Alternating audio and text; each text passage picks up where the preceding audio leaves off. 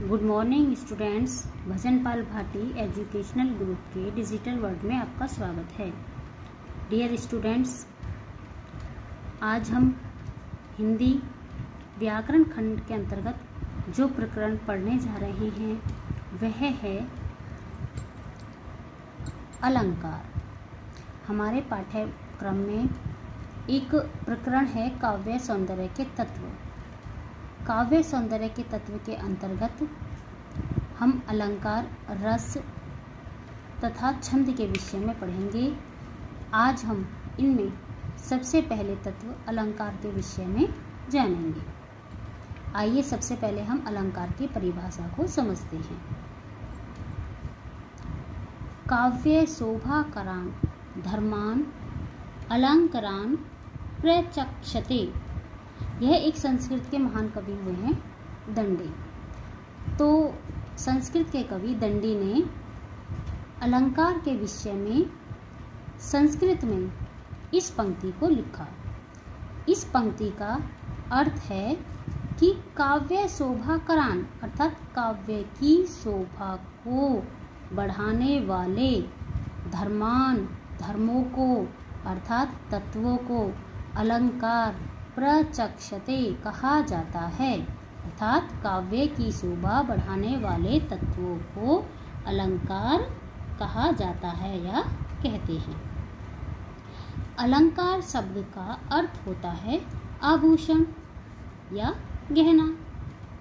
जिस प्रकार से आभूषण किसी स्त्री के सौंदर्य को और अधिक बढ़ा देते हैं, उसी प्रकार से कविता में अलंकारों का प्रयोग करने से कविता का आनंद और भी बढ़ जाता है।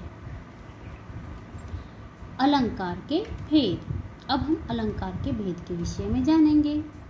अलंकार के दो भेद होते हैं। ए शब्दालंकार और ब अर्थालंकार। अब सबसे पहले हम अलंकार के पहले भेद या प्रकार शब्दालंकार के विषय में जानेंगे। शब्दालंकार, जहाँ कुछ शब्दों के कारण काव्य में चमत्कार तथा आकर्षण प्रतीत होता है, वहाँ शब्दा अलंकार होता है। जैसे कि एक उदाहरण है, यहाँ पे यह काव्य पंक्ति है चारू चंद्र की चंचल किरणें। खेल रही हैं जलथल में। यहाँ पर ये चय वर्ण की बार बार आवृत्ति हुई है। इसकी बार बार आवृत्ति होने से काव्य में आकर्षण या सौंदर्य बढ़ गया है।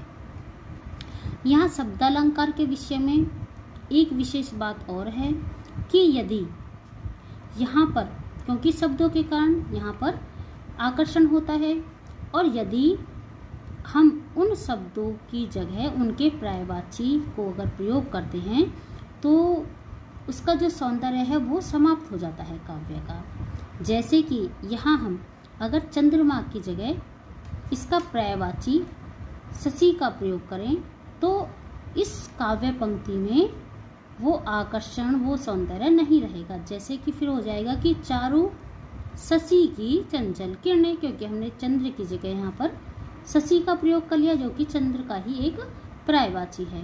तो अगर हम यहाँ पे शशि का प्रयोग करते हैं तो इस काव्य पंक्ति में वो सौंदर्य नहीं रह जाता है। इसलिए शब्दालंकार में यदि किसी शब्द के प्रायवाची को रख दिया जाता है तो उस पंक्ति का, उस काव्य का जो सौंदर्य है, वो समाप्त हो जाता है।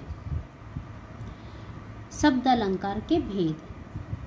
वैसे देखा जाए तो शब्दालंकार के बीस से अधिक भेद होते हैं, लेकिन यहाँ हम अपने पाठ्यक्रम के अनुसार शब्द अलंकार के तीन मुख्य भेदों के विषय में ही जानेंगे। इनमें सबसे पहला अलंकार है, अनुप्रास अलंकार, दूसरा अलंकार है, यमक अलंकार, तीसरा अलंकार है, श्लेष अलंकार।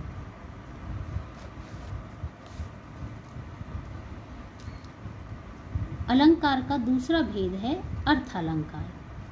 अब हम अर्थालंकार की परिभाषा को समझेंगे। जहाँ काव्य में अर्थ के कारण सौंदर्य उत्पन्न होता है, वहाँ अर्थालंकार होता है। अर्थालंकार के भेद। अर्थालंकार के निम्नलिखित सात भेद हैं। नंबर एक उपमा अलंकार नंबर दो, रूपक अलंकार। नंबर तीन, उत्प्रेक्षा अलंकार। नंबर चार, भ्रांतिमान अलंकार। नंबर पाँच, प्रतीप अलंकार। नंबर छः, संदेह अलंकार। और नंबर सात अतिशोक्ति अलंकार। डियर स्टूडेंट्स हम अलंकार का प्रयोग क्यों करते हैं या हमें अलंकार की जानकारी होना किस लिए आवश्यक है? इसके विषय में मैं आपको कुछ बताना चाहती हूँ। कि जब हम काव्य खंड के अंतर्गत, काव्य की जब हम व्याख्या को करते हैं तो उसके अंदर हमें काव्यगत सौंदर्य लिखना होता है और काव्यगत सौंदर्य में हमें ये बताना होता है कि इसमें किस अलंकार का प्रयोग किया गया है। इसलिए ही हमें अलंकार की जानकारी होना आवश्यक है, क्योंकि अगर हमें अलंकार की जानकारी नहीं होगी तो हम यह नहीं बता पाएँगे कि इस काव्य में किस अलंकार का प्रयोग किया गया है। तो डियर स्टूडेंट्स आपको अलंकार की जो परिभाषा और जो भेद मैंने आज बताए हैं, उनको आपको हिंदी की नोटबुक में सुंदर हैंडराइटिंग में लिखना है और आपके इतने कार्य को याद करना है।